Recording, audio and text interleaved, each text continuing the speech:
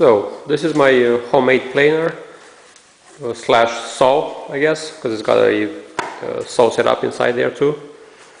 Um, I took this sticker off of a tool I bought. I don't really use these so much. Anyways, looks pretty good there, huh? Um, this is just regular press board all the way around and it's uh, covering a the frame. So the frame is really beefy because I just wanted to make it real strong. You can tell by the way the table is. This was just a piece of steel I uh, I found and I cut these grooves in. You can see here because uh, I figured it might help with uh, cutting down on friction. I don't know if it does or not but it works. Um, I think you recognize that's a flywheel from a car. Um, let's see. Inside, my outfeed rollers.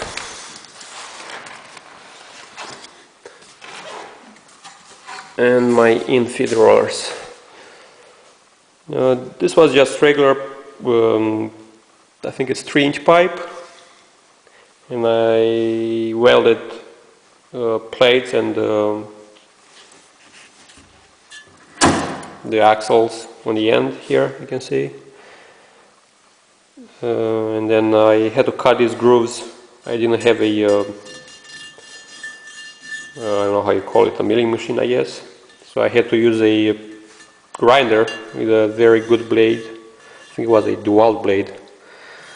And uh, I put it on my table saw with a jig and cut all these grooves to help at pulling the material and it actually works pretty good. I don't know how long they'll last.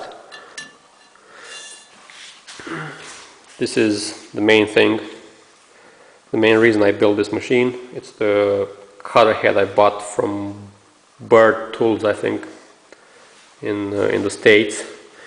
It's, I think it's called Shelix or something like that. It's the big 24 inch one ton of knives on it, but uh, they're really good quality and works really really nice. Uh, okay, my outfeed rollers. The reason I used two was that I'll have a roller here to pull the material when I use the, the saw. And having two here, I just went for two over here too. I don't know why, I don't know if it's a better job than one.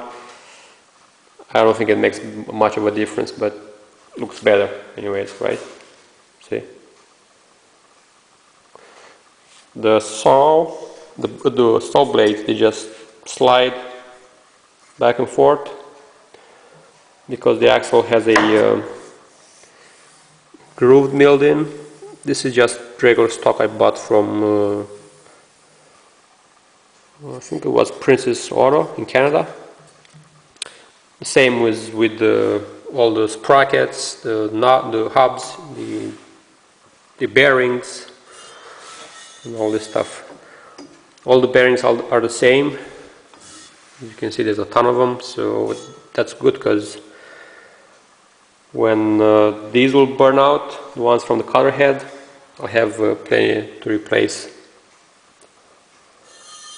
uh, these are just two hardened bolts with uh, springs. I tried all kinds of different setups, starting with uh, valve springs, and I ended up using these really small springs, which seem to work the best. Uh, this plate here, it's really springy so it allows the, the, um, the bearing to go up and down. And the reason I did that is because uh, the chain is pulling on the on the whole roller and it used to get jammed on these bolts. So using that plate there it, it, it just keeps it from from moving. So you'll it will only go up and down not side to side Uh, it took me a while to figure that out, but now it's done, so works pretty good. Um, chain, uh, chains are really big because I didn't know what to use, so I just went with a really big one just to be safe. They're all connected, you can see. And down there is the, there's a small electric engine with a um, reduction gear on it, and that's the thing that pulls, that turns all, all these rollers. Um, let's see what else. Uh, the saw has its own uh, engine. I think it's a 5 kilowatt.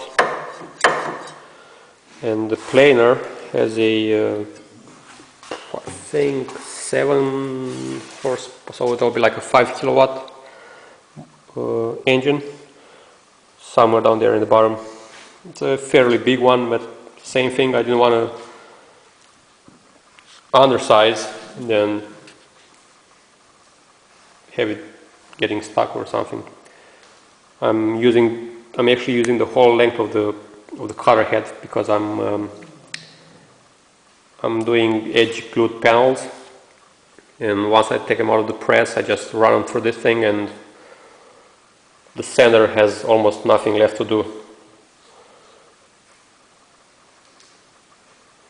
Okay, let's turn it on a little bit. So over here will be, this is for the saw, this is for the, so this will be the rollers going first. I see them spinning. Uh, I wish I could adjust this speed so that it goes faster when I use the saw. But um, I gotta buy some kind of a inverter or something like that and I, I just didn't want to bother. So this speed is kind of in, in the middle. It's a little fast for the planer but it's kind of slow for the for the saw. Still way faster than any other commercial um, planer you can buy. I'm pretty sure, I mean you can tell. Okay, and then I don't know if there's any point in turning the planer on because you're not going to see anything. And so I can choose. I either turn the planer on or I turn the, the saw on. And both use the rollers. Um, it's just a matter of adjusting the table a little bit lower so that the cutter head, the cutter head doesn't catch the board while the saw is cutting it. Or I can use both in the same time, just plane the board and rip it down. I mainly use this for ripping uh, whiteboards in two equal pieces for gluing and before I put it in the in the dryer so that I, I don't have to worry about splits and stuff. Okay, and, uh, this is my uh, what you might call it exhaust system. You see it goes all the way to that machine and all those other tools are connected to it. Okay. Um, oh yeah, the saw has its own thing here for uh, for dust because it, it just pushes the dust down and I just all I have to do is connect this hose to the exhaust system up there. There's a little ventilation. Yeah, well, that's about it. I don't know what else to tell you. Other than the fact that the cutter head is really, really good. So if you have the money, just buy one because it's it's totally worth it. Like this, this machine is almost new. It's not bad, but it's you know it, you can't compare it with the other one. And uh, the first day I nicked one of the knives. Well, actually all four of them. And I think it was in a nut, not even a nail or anything like that.